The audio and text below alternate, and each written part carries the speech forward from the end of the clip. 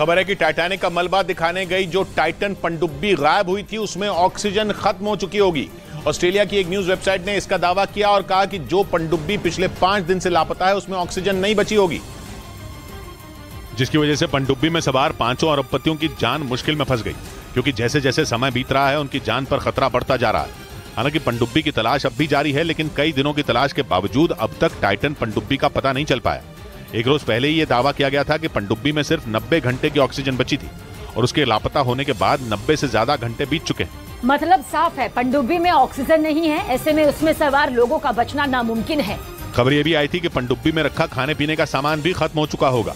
और पनडुब्बी में ऑक्सीजन खत्म होने की खबरों के बीच पश्चिमी मीडिया ने दावा किया कि फ्रांस ने टाइटन पनडुब्बी को ढूँढने के लिए एक खोजी रोबोट भेज दिया। टाइटन पनडुब्बी की तलाश पिछले पाँच दिन से की जा रही है लेकिन अब तक उसका पता नहीं चल पाया। ऐसे में फ्रांस ने अपना एक खास रोबोट समुद्र में भेजा जो टाइटैनिक के मलबे से भी ज़्यादा गहराई में जा सकता है।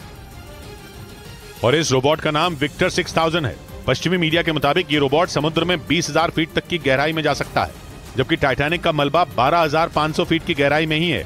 जिसका मतलब ये कि रोबोट टाइटेनिक के मलबे से भी ज़्यादा गहराई में जाकर पनडुब्बी का पता लगा सकता है।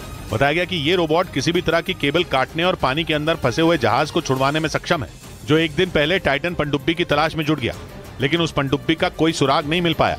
वहीं टाइटन पंडुब्बी की खोज तो जारी है, लेकिन उसका कोई पता नहीं चला और न ही उसमें बंद पाँच अरब पत्तियों का कोई सुराग मिला। चिंता की बात यह है कि सिर्फ़ 22 फीट लंबी इस पंडुब्बी में सही से न बैठने की जगह है और न ही उठकर चलने की। इसी बीच पंडुब्बी में ऑक्सीजन खत्म होने की भी खबर आ गई।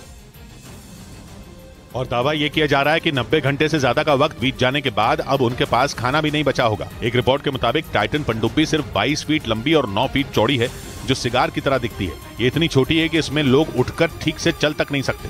इसलिए इसमें आठ घंटे तक का सफ़र भी मुश्किल हो जाता है। टाइटन पनडुब्बी में एक टॉयलेट भी है, लेकिन बताया गया कि उसका कभी इस्तेमाल ही नहीं किया गया।